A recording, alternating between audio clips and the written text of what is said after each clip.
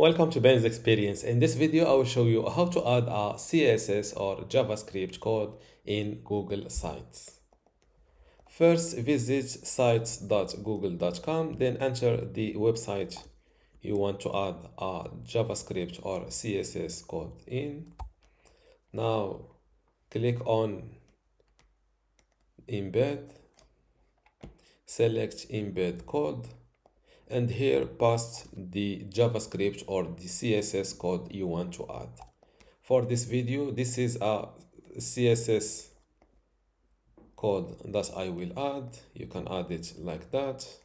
Just remember your CSS code must be within the style tags. Same thing for the JavaScript, it should be within the script tags. Let's copy this JavaScript code paste it just like that and hit the next button. Before I continue this tutorial, I would like to let you know that you can get access to my Google Sites online course today for free.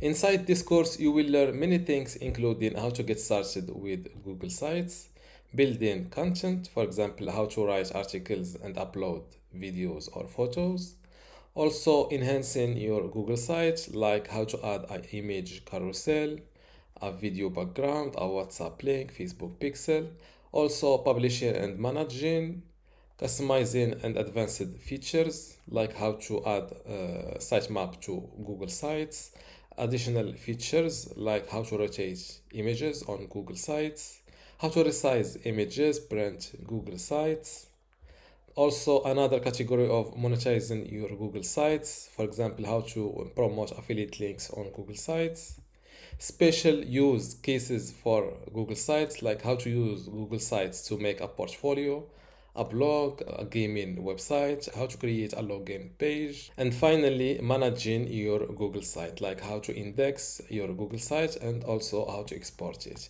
If you want to get access to all of this today for free and also my other free online courses inside my university. Just go to university.bensexperience.com link in the description. Without any further ado let's continue our tutorial and hit the next button.